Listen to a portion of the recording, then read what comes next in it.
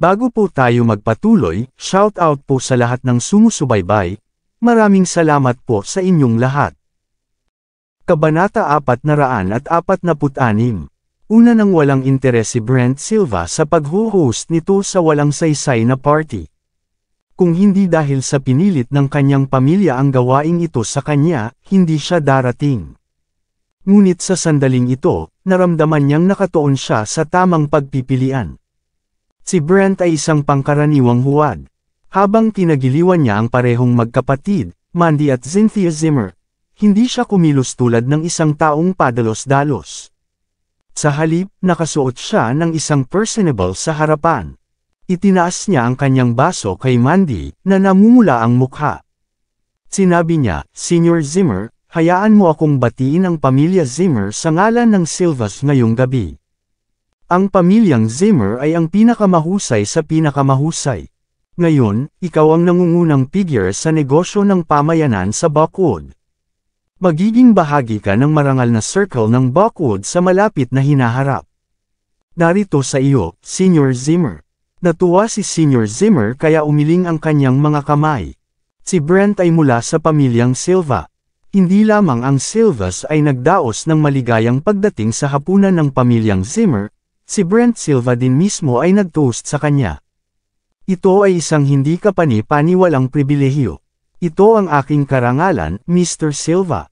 Magkakaroon ng pamilya Silva upang alagaan ng Zimmer sa hinaharap. Sinabi ni Senior Zimmer, na namula ang mukha niya. Kalmado na ibinalik ni Brent ang kanyang tingin kay Mandy. Siya pagkatapos ay ngumiti at sinabi, ako ay magsasalita, hindi pa ako kasal. Hindi ko alam kung may pagkakataon na maging manugang ng pamilya Zimmer. Ang karamihan ng tao ay nagulat sa ganito, Si Brent ay hindi humawak ng kapangyarihan sa Silvas at noon ay hindi ang tagapagmana, ngunit siya ay miyembro pa rin ng Silva family. Hindi mabilang na mayayamang kababaihan ang kusang magtapon ng kanilang mga sarili sa kanyang mga paa. Hindi inaasahan, kinuha niya ang inisyatiba upang banggitin ang bagay ng kasal. Pinahigpit ni Senior Zimmer ang kanyang mga mata at sumagot ng isang ngiti, Narinig ko mula sa aking ikatlong anak na ang Silvas ay handang makipag-alyansa sa mga Zimmer sa matrimonya. Nakikita ko na ikaw ang napili para dito. Medyo sumabog ang mga mata ni Senior Zimmer matapos sabihin ito. Ang gusto niya ang maalamat na si Leon Silva, hindi si Brent, na hindi tagapagmana ng pamilya. Kaya, si Senior Zimmer hindi nagustuhan si Brent, si Queen Zimmer lamang ang mag-aasawa. Hindi siya maaaring na ikasal sa sinuman casual na sinabi ni Senior Zimmer. Ngumiti si Brent. Ganoon ba? Sa tingin ko ang taong gusto ang nakikipag-usap tungkol sa kasal. Siguro ito ang aking kuya na nais makipag-alyansa sa pamilya Zimmer sa pamamagitan ng kasal. Hindi ko maintindihan dati, ngunit matapos makita si Miss Mandy, ginagawa ko. Sa puntong ito, lumakas ang pagiging matatag ni Brent. Hindi ko alam kung kasal ba si Miss Mandy o hindi, ngunit nahulog ako sa pag-ibig sa kanya sa sandaling nakita ko siya. Hindi inaasahan ni Mandy na makisali siya. Sa sandaling iyon, ang kanyang mukha ay nagdilim ng bahagya. Kailan lang malapit na siyang magsalita. Si Zack Zimmer, na nasa kabilang linya, ay nagmadali humakbang sa ibabaw. Tumawa siya at sinabi, Brother Silva, ako ay natatakot na mabigo ka. Hindi lang si Mandy ay kasal na, ang kanyang asawa ay isang live-in son-in-law din.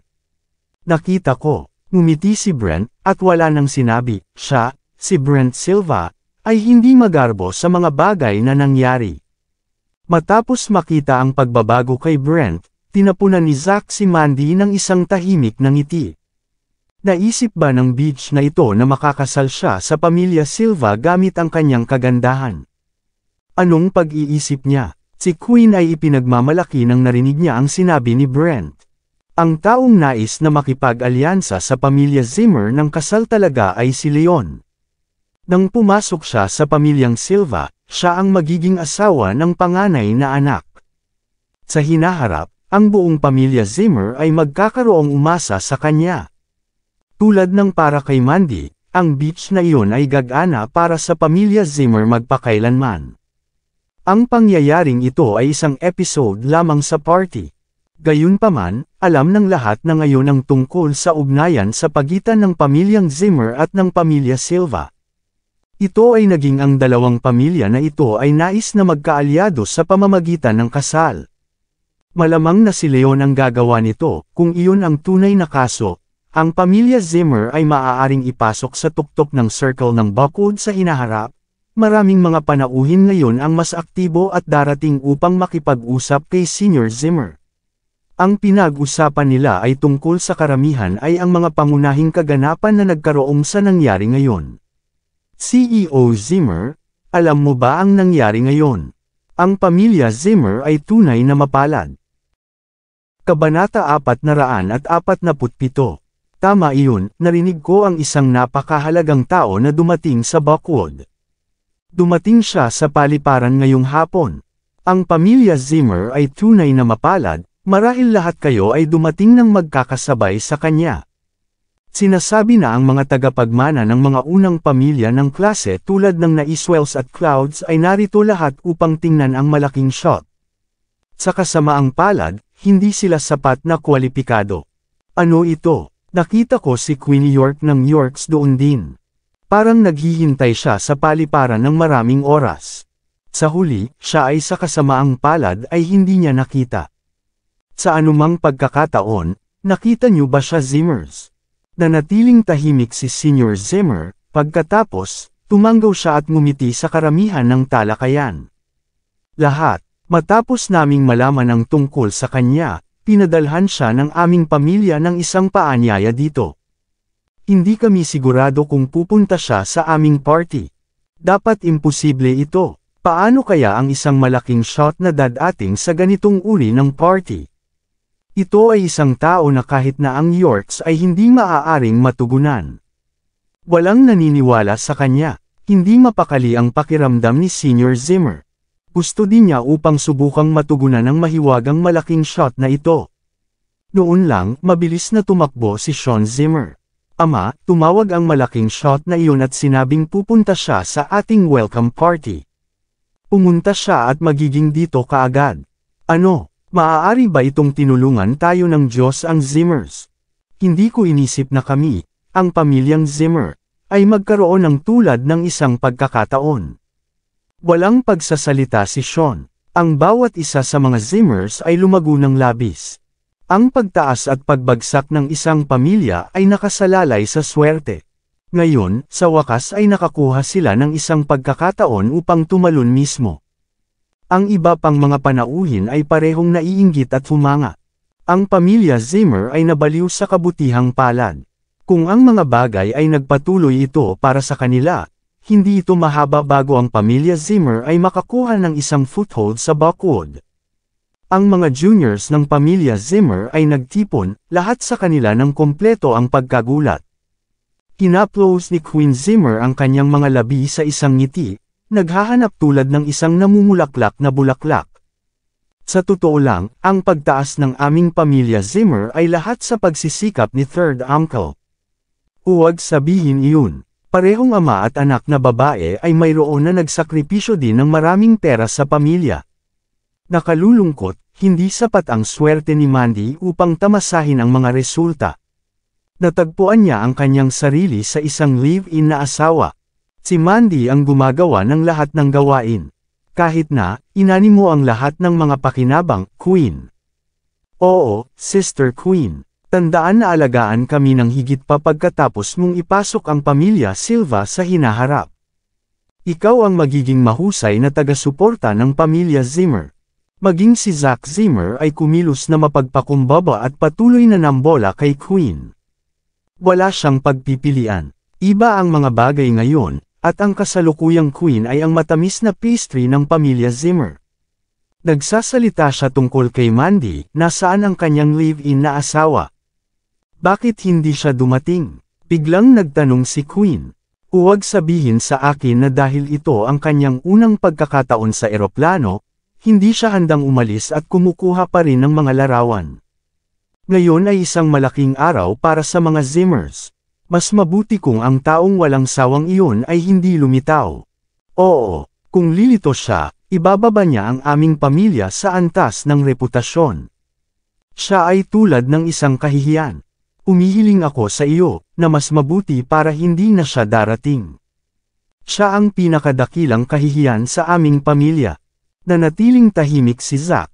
Mga kalahating oras ang lumipas, isang ilaw na gumagapang ang tunog at ang pintuan ng party hall ay itinulak ng bukas. Ngayon na ang party ay nasa kalahati pa lang at halos lahat ng mga panauhin ay naruroon. Ang pamilya Zimmer ay nabanggit sandali lamang na darating ang malaking shot. Sa sandaling ito, ang lahat ng mga mata ay agad na nakatuon sa pintuan. Nais ng lahat na malaman ang pagkakakilanlan nitong misteryosong lalaki. Dinagtagal, isang figure ang naglalakad sa pulang carpet, kahit na siya ay may suot na pinakaordinaryong damit, ang kanyang presensya ay nagbigay sa mga tao ng hindi mailalarawan na presyon. Natagpuan ng lahat ito na medyo mahirap huminga, sa susunod na segundo, may nagpakawala ng isang hiyaw ng kawalan ng paniniwala. Ito ay si Harvey York. Maraming salamat sa lahat ng sumusubaybay please subscribe and follow my YouTube and Facebook channel, Filipino Novel, maraming salamat po. Kabanata 448 Kaagad, ay nagsimulang gumawa ng kakaiba ang mga ekspresyon ng Zimmers. Hinawakan ni Lillian Yates ang kanyang mga ngipin. Nakalimutan ko na ang walang silbing bastard na ito ay hindi pa lumitaw. Hindi ba nauunawaan ng live-in law na ito ang kanyang lugar? Hindi ba niya napagtanto kung anong uri ito? Paano siya ay nang ahas siyang humakbang sa loob? Sa tuktok ng iyon, siya ay pumasok ng matapang. Mapahamak ito. Hindi mapigilan ni Lillian ang pagtingin ng isang mabangis na sulyap kay Simon Zimmer. Kung hindi ito para sa kanyang kaduwagan sa Niemhi, siya ay matagal nang itinaboy ang live-in son-in-law palabas dito. Hindi ba niya nakita na si Brent Silva ay umibig kasama ang kanilang anak na babae? Iyon ay isang mahusay na pagkakataon. Gayunpaman, ang lahat ay nasira sa makulit na ito. Tulad ng tungkol kay Simon, ang kanyang tingin ay naging madilim. Sa Niemhi, si Senior Zimmer ang may huling sinabi, Gayunpaman, hindi iyon ang nangyari sa Buckwood. Dapat niyang hayaan ang makulit na ito. Hindi pinansin ni Harvey York ang kakaibang tingin mula sa karamihan ng tao at lumakad hanggang kay Senior Zimmer. Pinabati kita, Senior Zimmer. Ang Zimmer ay opisyal na nagtakda ang pamilya sa Buckwood ngayon. Sinabi ni Harvey, ang kanyang ngiti ay misteryoso at makabuluhan. Sa kasamaang palad, walang nakakaintindi sa totoong kahulugan sa likod ng kanyang mga salita. Ang sulok ng mata ni Senior Zimmer ay kumibot. Siya ay itinuro si Harvey at sumigaw, talunan ka. Paanong alam mo na may hawak kaming party dito? Sino ang naghiling sa'yo na dumating ka? Maaari ka lamang pumasok ng tahimik. Sa halip, ikaw ay pumasok sa isang matapang na paraan. Natatakot ka ba kung hindi alam ng mga tao kung sino ka? Araw-araw, patuloy kang walang alam. Ikaw lang ang live-in na manugang. Sa palagay mo ba ay lubos ka sa iyong sarili? Hindi mo ba alam kung gaano kahalaga ang okasyong ito ng pamilyang Zimmer? Gaano ka katapang dumating? Bulok ka bastard. Lumakad si Zack Zimmer mula sa likuran at sinabi ng malamig, Harvey, hindi ka karapat dapat na narito. Lumingon si Harvey kay Zack.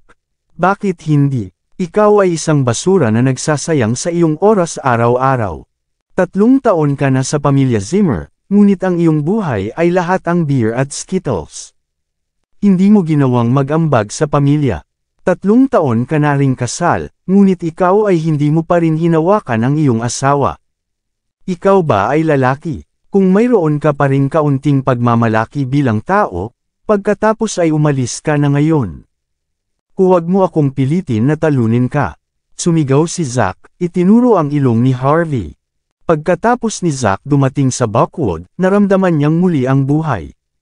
Si Simon Zimmer, na nasa likuran nila, ay tumayo. Siya ay tumingin kay Harvey ng malamig at sinabi, Harvey, si Brent Silva mula sa pamilyang Silva ay iminungkahi kay Mandy lamang ngayon ang tungkol sa kasal. Ikaw na basura, mas mahusay kung pumunta at makuha ang diborsyo bukas din. Oo, oo, Ang isang maliit na basura tulad mo dapat mabilis na lumabas mula sa pamilyang Zimmer. Kami, ang Zimmers, ay walang kinalaman sa iyo. Labas. Nang sina Simon at Lillian ay nasa Niamhi, ginawa nilang hindi maglakas loob na tutulan ang senior Zimmer. Gayunpaman, naiiba ito ngayon. Sa katunayan, nagkaroon si Brent na ipakita ang interes kay Mandy ng ilang sandali. Sa ilalim ng sitwasyong ito, pareho silang naisip nila na maaaring subukan ang pagpilit kay Harvey na hiwalayan si Mandy. Kahit na hindi nasisiyahan si Senior Zimmer, paano posible para sa kanya na mapanganib ang pagkahulog sa Silva family para sa isang walang silbing bastard? Si Brent ay nakatayo sa isang tabi, isang hindi mahulang ngiti sa mukha niya. Una niyang naisip na wala siyang pagkakataon. Gayunpaman, hindi niya inaasahan na mangyari ito. Bukod dito, hindi na antig ang asawa ni Mandy sa kabila ng tatlong taong pag-aasawa. Kawili-wili. Pagkatapos nito, kinuha ni Zack ang kanyang bank card mula sa kanyang bulsa at itinapon ito sa harap ni Harvey. Harvey, narinig mo yon. Ang iyong biyanan ay gusto ng biyanan na lumabas ka. Mabait ako. May isang daan at limampung libong dolyar sa card na ito.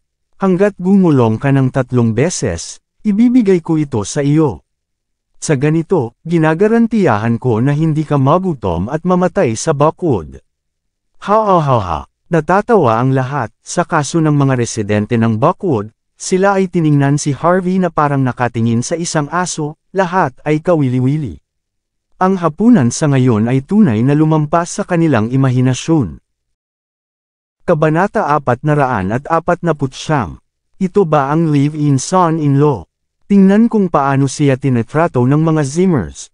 Wala siyang halaga sa lahat. Masyadong ordinaryo ang kanyang damit. Pusta ko wala siyang maraming pera. Para sa isang mahirap na tao tulad niya, ang isang daan at limampung libong dolyar ay sapat na upang mabuhay ng mahabang panahon. Sigurado akong sesang-ayon siya rito. Ngunit ang pamilya Zimmer ay tiyak na kawili-wili. Sa tingin nila dumating ang ganitong uri ng kaganapan para aliwin ang lahat, hahaha. Si Harvey York ay walang pagsasalita. Ang karamihan ng tao ay nakikipag-usap at nakatingin kay Harvey kasama ang isang masayang hitsura.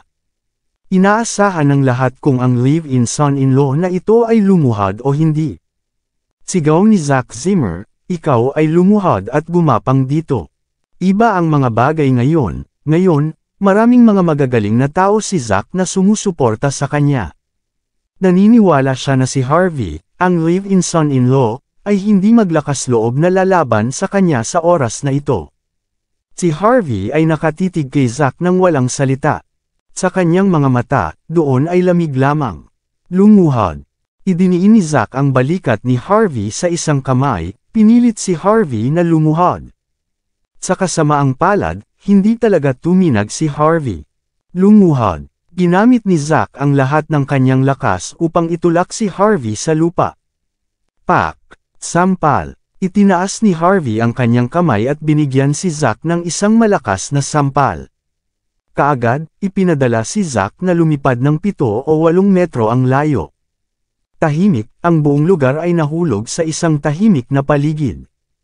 Gayunpaman, wala sa mga Zimmers ang nagulat dito alam na nila na ito ang magiging kinalabasan. Pagkatapos ng lahat, maraming beses na binugbog ni Harvey si Zack. Sila ay hindi na nagulat, ang live-in na manugang na ito ay paminsan-minsan ay baliw. Gayunpaman, ang iba pang mga panauhin ay nalilito. Ano ang ginawa ng live-in son-in-law na ito? Sinampal ba niya si Zack sa mukha at pinadala si Zack na lumipad? Iyon ang tagapagmana ng pamilyang Zimmer. Clack, tulad ng pakikibaka ni Zack siya ay bumangon. Humakbang si Harvey sa kanyang mukha at naglakad pasulong. Umakyat si Harvey kay Senior Zimmer at tumingin sa matandang lalaki pataas. Pagkatapos ay sinabi niya ng walang pakialam, sa hinaharap, tandaan na iulat ang Zimmers na mga negosyo ng pamilya sa akin sa lalong madaling panahon. Ayokong makita ang pamilya Zimmer na pinagsamantalahan ng iba, ilang araw lamang matapos dumating sa Buckwood. Ito ang bihirang kabutihan ni Harvey, ang kanyang kabaitan ay una lamang may iwan kay Mandy. Gayunpaman, naintindihan niya na hindi magagawa ni Mandy na iwanan ang pamilyang Zimmer. Alang-alang sa sulat ng paanyaya na iyon, siya ay nag-aalok ng ilang mga limo sa pamilya Zimmer. Matapos na sabihin ni Harvey ang kanyang mga salita, napunta ang karamihan at tumahimik ulit. Nakakatawa ang mukha ni Senior Zimmer. Hahaha, ang lahat ay sumabog sa pagtawa. Nabaliw na ba ang live-in son-in-law na ito? Paano siya makikipag-usap ng ganito? Tinanong pa niya ang Panginoon ng pamilyang Zimmer na magulat sa kanya. Hahaha, ang katangahan ba ay wala sa kanyang isipan? Nakakatawa talaga. Ang taong ito ay masayang maingay. Hindi siya kailangan ng anumang mga kasanayan sa pag-arte upang maglaro ng isang tulala. Nanatiling tahimik si Harvey, hindi pinansin ni Harvey ang panlalait ng mga tao. Sa halip, siya ay tumingin kay Senior Zimmer nang walang pakialam at sinabi, Ako ay hindi isang daang porsyento na sigurado tungkol sa maraming mga bagay sa Buckwood. Alalahanin ang aking mga salita. Kung hindi, kapag ang pamilya Zimmer ay kinain ng isang tao, hindi ako magiging makakatulong sa iyo. Tumalikod si Harvey matapos magsalita at umalis sa kabila ng panunuyan ng lahat. Tumigil ka, maliit na basura ka. Hinayaan kita. Sa oras na ito, naglalakad si Simon Zimmer at tumigil kay Harvey. Talagang nais niyang talunin ang live-in son-in-law na ito. Sa isip niya, sobrang bobo ni Harvey, ano ang impyerno na sinusubukan nitong gawin? Ang mukha ni Senior Zimmer ay pumangit sa galit. Simon, hayaan mo na siya. Magandang araw ngayon. Darating ang malaking shot. Ang paghabol sa bagay na ito ay magiging masama. Oo, maraming iba pang mga pagkakataon na maaari nating gamitin upang tapusin siya. Malapit na ang malaking shot. Hindi maganda kung hayaan ang tanga na ito na tumakbo sa kanya. Maswerte parent siya. Katulad nito, umalis si Harvey sa lugar sa ilalim ng mga titig ng marami. Matapos umalis si Harvey, sabik na sinabi ni Senior Zimmer, Sean, nasaan na ang malaking shot? Bakit hindi pa siya dumating? Kabanata 450 Sumagot si Sean Zimmer na may kamanghamanghang hitsura, siya dapat na dumating na ngayon. Tatawagan ko ang sekretarya niya at magtanong. Di nagtagal, naging maasim ang mukha ni Sean at isinabot niya ang telepono. Sinabi niya, Ama, ang malaking shot ay nandito na kanina. Umalis na siya. Ano, nandito na siya. Sinabi ng malaking shot na ang pamilya Zimmer ay mga tanga.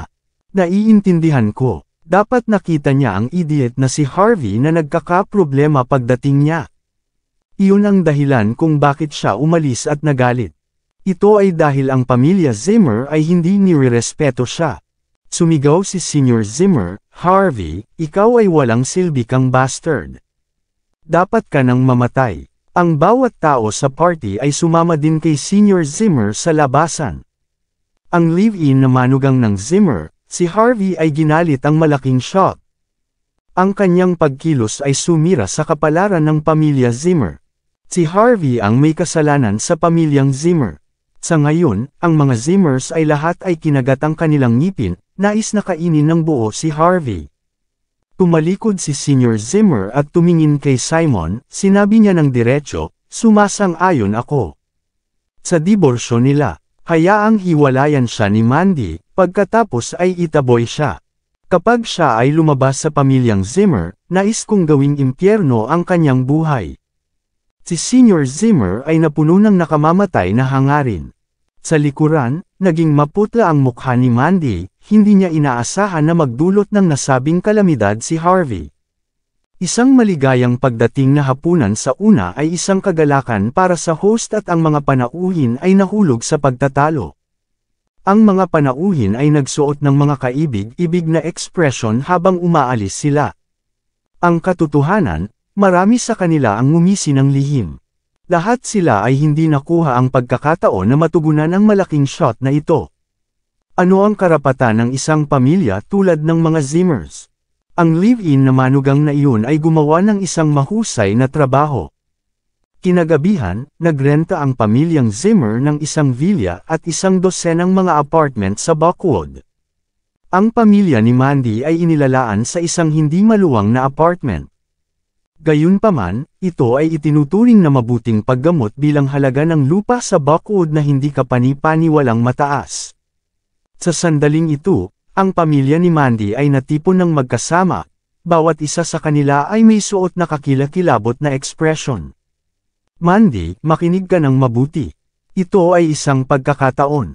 Dahil si Lolo ay sumang-ayon na sa iyong diborsyo sa basura, dapat na kayong dumaan sa formalidad sa lalong madaling panahon. Oo, sinabi rin ng iyong lolo na mag-aanyaya siya kay Young Master Brent Silva ng isang maliit na pagtitipon bukas. Matapos mapuksa ang basura na iyon, dapat mong kunin si Young Master Brent Silva. Mandy, ito ang iyong pagkakataon na baguhin ang iyong kapalaran. Ang pamilyang Silva ay talagang isang mayamang pamilya sa Buckwood. Hindi mo dapat palampasin ang pagkakataong ito. Ngayon na may pagkakataon. Hindi nagsasalita si Mandy. Tumingin lang siya sa gate na may maputlang mukha. Nagpadala lang siya ng mensahe kay Harvey, nagtanong sa kanya kung bakit siya kumilos sa ganoong paraan sa party. Gayunpaman hindi tumugon si Harvey, ang kanyang impression kay Harvey ay nagbago ng marami. Gayunpaman, bakit siya kumilos ng labis pagkatapos na nakapunta sa Buckwood? Iba siya sa dati. Siya ay ganap na hindi pamilyar sa kasalukuyang kanyang pagkatao. Nang makita si Mandy sa pagkadismaya, nagalit si Simon. Mandy, ano ang iniisip mo? Ikaw pa rin ba ay iniisip ang tungkol sa talunan na iyon? Ang talunan na iyon ay nabaliw na ngayon. Paano siya maglakas loob na bumalik sa ngayon? Huwag maging walang muwang. Tumanggo din si Lillian Yates at idinagdag, hindi muna hayaan ni Senior Zimmer na maghiwalay kayo upang maiwasana ang laban sa amin at pamilya ni Queen. Pero ngayon na sumang-ayon na siya, hindi mo dapat palalampasan ang bihirang pagkakataon na ito. Gayun din, ang talunan na iyon ay nawala na sa kanyang mukha sa party ngayon. Siya ay naging isang biro sa buong Buckwood. Bakit mo pa rin ipinagtatanggol si Harvey? Sa sandaling ito, tumunog ang doorbell. Bumukas ang pinto, at dumating si Harvey. Sa pagtingin sa saloobin ni Harvey, kumukulo si Simon sa galit. Basura, gaano kakatapang na bumalik? Alam mo ba kung paano napahiya ang mga Zimmers ngayon? Ang pamilya ay nagdusa ng isang kahila-hilakbot na kahihiyan dahil sayo. Well, may ilang mabuti ngayon na bumalik ka, huwag ka nang umalis. Pagdating ng umaga, pumunta at kumuha ng diborsyo. Tumingin si Harvey kay Mandy, na maputla ang mukha. Siya ay ipinaliwanag ng seryoso, Ama, Ina, hindi ako nakikipag-usap ng walang kaparirikan sa party. Huwag kayong mag-alala, ako ay handang protektahan si Mandy at ang pamilyang Zimmer. Hahaha. Matapos marinig ang mga sinabi ni Harvey, sina Simon at Lillian ay sumabog sa tawa. Maraming salamat sa lahat ng sumusubaybay please subscribe and follow my YouTube and Facebook channel, Filipino Novel, maraming salamat po.